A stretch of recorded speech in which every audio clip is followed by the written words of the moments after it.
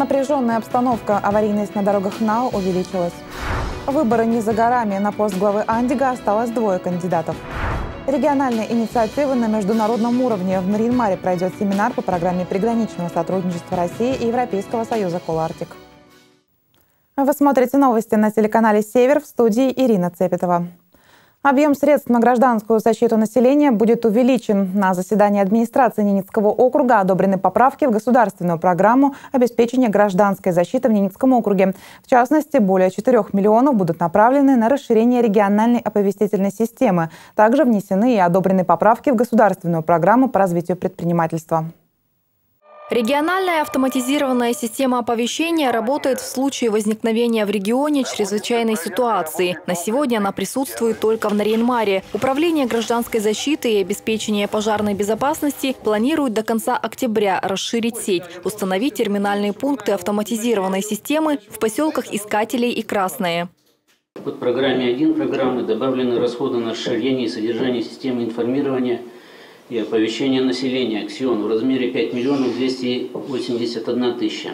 Также в программу добавлены расходы на содержание поисково-спасательной службы. 4 миллиона 825 тысяч рублей планируется направить на закупку техники, моторных лодок и снегоходов. Дополнительные средства 5 миллионов 398 тысяч будут направлены на содержание казенного учреждения «Отряд государственной противопожарной службы». Также на заседании одобрили выделение средств на реконструкцию здания поисково-спасательной службы. Там планируется достройка третьего этажа для размещения Центра обработки вызовов единой службы 112. Расширяется финансовое обеспечение и программы по развитию предпринимательства в регионе. Финансирование госпрограммы в 2017 году увеличивается на 11,9 миллиона. Э, даем, дополнительно средства выделяются на предоставление грантов 9 миллионов, на предоставление микрозаймов 8 миллионов 207 700, на возмещение части затрат предпринимательской предпринимательской деятельности. Имеется в виду здесь субсидия на модернизацию. Татьяна Лагвиненко отметила, в связи с тем, что в 2016 году финансирование программы пришлось сократить, прирост субъектов малого и среднего предпринимательства в регионе был незначительным. В этом году округ поддерживает бизнес-сообщество, чтобы расширить долю самозанятых на рынке труда. У нас стоит цель э, значит, создания целого слоя предпринимателей, связанных, занимающихся в том числе и переработкой, то есть созданием прибавочной стоимости, не, не только торговли. Да. Поэтому что будет необходимо, какие средства будут необходимы, эти строчки будем увеличивать. Но это должно быть под конкретные проекты. Глава региона поручил предусмотреть в бюджете 2018 года необходимый объем финансирования, в том числе и для грантовой поддержки предпринимателей. Валентина Чибичек, Дмитрий Лукевич, телеканал «Север». За последние две недели три случая, когда в ДТП страдают пешеходы. Вообще статистика этого года в части дорожной обстановки неутешительная. Аварийность увеличилась на 25%. За 8 месяцев 2017 года на территории Ненецкого округа произошло 30 дорожно-транспортных происшествий. В них погибли три человека, пострадали 34. Такие цифры были озвучены на пресс-конференции в местном отделе ГИБДД. Тему продолжит Алина Ваучейская. Обстановка на дорогах окружной столицы сегодня очень напряженная. С этих слов Александр Павлинов начал встречу с журналистами. Заместитель начальника госавтоинспекции сообщил, в регионе зафиксирован рост числа ДТП, совершенных пьяными водителями. Спокойность вызывает э, дорожно-транспортные происшествия с участием э, водителя, находящихся в состоянии алкогольного опьянения. Так, по итогам 8 месяцев у нас на сегодня произошло 8 дорожно-транспортных происшествий, в том году их было 7. Э, рост составил 14,3%, в которых два человека погибло, в том году также два человека погибло, и 10 получили ранения. Только за август 2017-го в окружной столице были задержаны 33 автомобилиста в состоянии алкогольного опьянения. Всего же за 8 месяцев этого года зафиксировано 188 фактов управления транспортным средством лицами в нетрезвом виде. Причем 35 из них повторно, а это уже 264 статья Уголовного кодекса. Только лишают права управления транспортным средством на три года, да, а, плюс можно и лишиться свободы, то есть уехать Э, колонии поселения, либо получить там более строгое наказание. На сегодняшний момент у нас уже есть случаи, что действительно людей привлекали к уголовной ответственности и лишали свободы, и получали люди реальные сроки лишения свободы.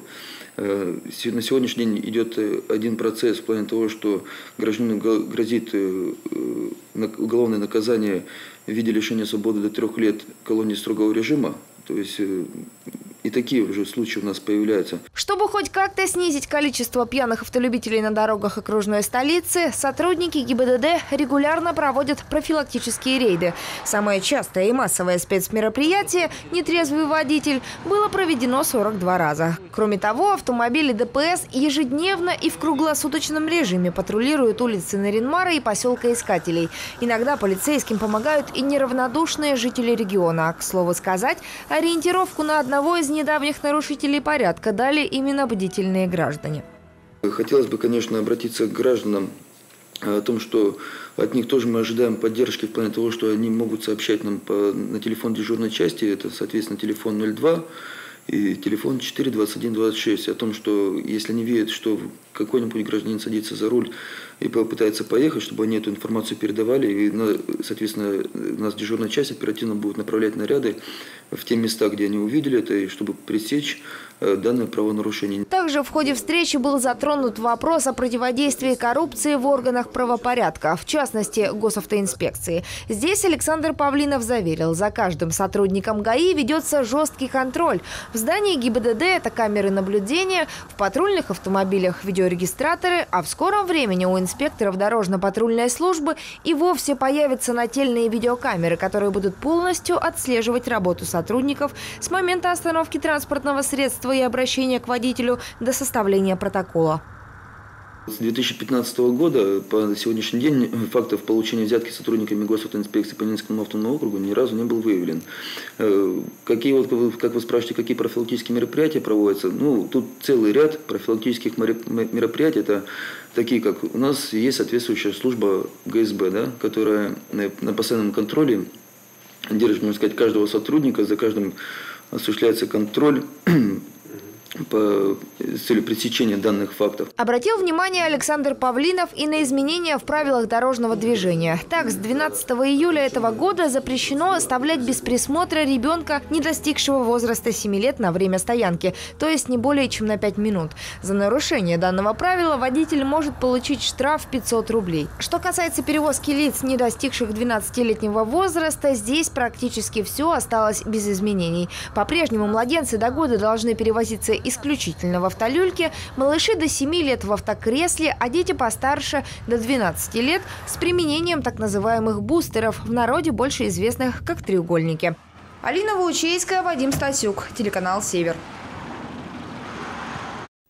На пост главы Андикского сельсовета претендуют два человека. Один из кандидатов, заведующая фельдшерско-акушерским пунктом деревни Андик, Ольга Хабарова, отказалась от дальнейшего участия в избирательной кампании. Соответствующее заявление она принесла в сельский избирком 3 сентября. Как отмечает информагентство НАО-24 со ссылкой на секретаря избирательной комиссии Ненецкого округа Людмилу Тоскаеву, решение об аннулировании регистрации кандидата муниципальная комиссия приняла в этот же день. При этом Ольга Хабарова осталась в списках кандидатов на должность депутата поселкового совета. Таким образом, на пост главы Андикского сельсовета осталось два претендента. Это нынешняя глава муниципального образования Валентина Абакумова, выдвинутая «Единой Россией», и пенсионер Петр Хабаров, самовыдвиженец.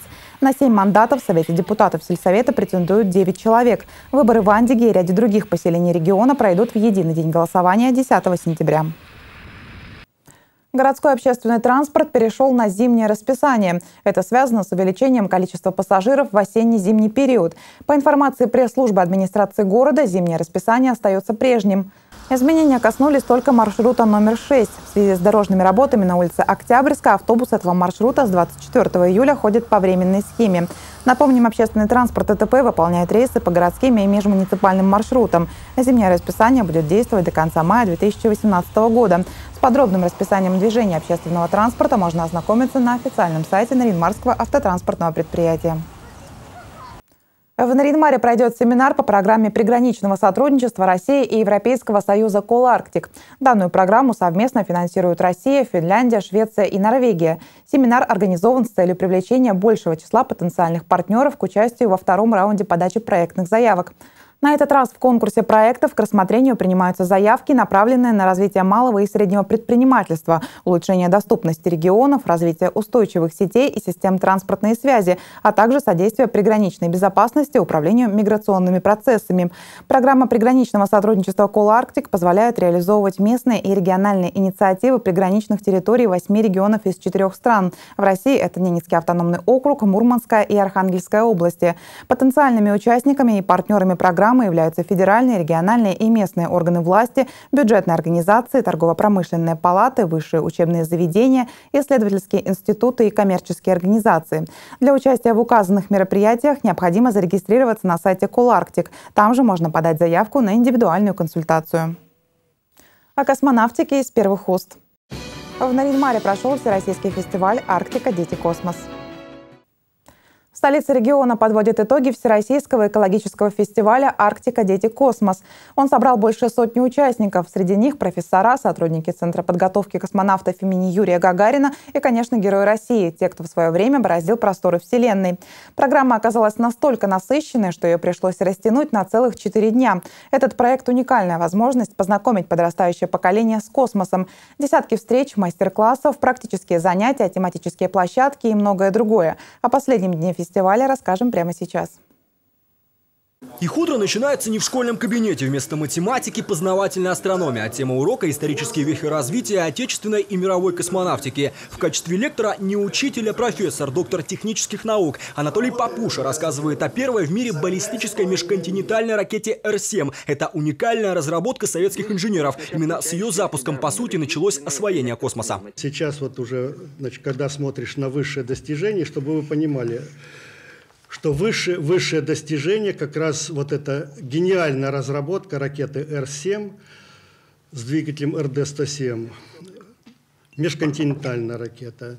Дальше это совершенно ну, невероятно. Значит, была написана докладная записка, что если уменьшить полезную нагрузку, можно вывести на космическую орбиту летательный аппарат. А вообще главная тема такого неформального урока – профориентация современных школьников. Многие ребята в следующем году закончат учебу. Куда пойти дальше? Вопрос, волнующий, пожалуй, каждого старшеклассника. Общение с известными людьми – лучший способ определиться с будущим. О профессии космонавт современному поколению рассказал Сергей Ревин. Он не забыл и об экологии, ведь эта тема одна из главных на фестивале. Нашу Землю окружает, э, сохраняет вот это тоненький, этот тоненький-тоненький слой атмосферы. Ну, понятно, что есть еще радиационные пояса. Ну, по крайней мере, визуально видно, насколько беззащитна наша планета. Чем питаются астронавты, как их готовят к полету и сколько времени человек может находиться на орбите. Гагаринский урок – площадка для тех, кто о космосе хочет знать все и даже больше. Должна же быть ротация какая-то, да? Так почему бы не ваши дети, которые здесь э, точно так же они такие же умные, как и, и в центральной России. Пусть они к нам приходят, мы с удовольствием их примем. Здесь немножко другие люди, а, они более открытые, что ли. Хотя а, я заметил, конечно, что и, и немножко, да, потому что да, вот девочки сегодня вообще ни одного вопроса не задали практически. Назовите фамилию космонавта, которому исполнилось 80 лет, первым вышедшего в открытый космос. Для тех, кто помладше, организовали игровую площадку. Задача школьников – правильно ответить на заданные вопросы. Особых сложностей у ребят не возникло. А здесь юным участникам фестиваля предлагают смастерить космический корабль из бумаги, торцевания, техника объемных поделок. Делаем ракету из таких вот бумажек. На пластике вот так вот накручиваем и клеим. Ну а тем, кому хочется чего-то более реалистичного, предложили попробовать свои силы на компьютерном мобильном тренажере. Пристыковать космический корабль к МКС, пусть и не по-настоящему, оказалось не так просто. Организаторы говорят, без теории миссия невыполнима. Он дает основы управления космическим кораблем во время возникновения штатной ситуации при отказе э, автоматической системы стыковки когда командир экипажа вынужден взять управление на себя и уже вручную стыковать космический корабль. Вот, есть два, четыре крестика, нужно попасть ближе к середине. Если вышел за пределы круга, то ты не состыковался. И скорость должна быть 0,15 метров в секунду. Всероссийский фестиваль регион его принимал впервые, стартовал минувшую пятницу. Сразу после школьной линейки участники собрались на открытом уроке мира. Привет из космоса ребятам тогда передал действующий экипаж МКС. Сергей Рязанцев и Федор Юрчихин пожелали успехов в новом учебном году и плодотворной работы на фестивале. Дорогие ребята, мы с высоты космического полета видим, как прекрасна наша планета Земля. Берегите ее, любите мир, цените жизнь, дарите добро, живите дружно. Всегда стремитесь достичь поставленной цели, несмотря ни на какие преграды. У вас все получится. Желаем участникам творческих успехов, плодотворной работы и уверенности в экологическом благополучии как Ненецкого автономного округа, так и всей нашей планеты. Сегодня же во время закрытия фестиваля организаторы подвели итоги международного конкурса рисунков. Его участниками стали порядка 200 человек. Работы победителей будут опубликованы в известных журналах. Олег Хатанзийский, Александр Дуркин, телеканал «Север». На этом у меня все. Далее смотрите прогноз погоды.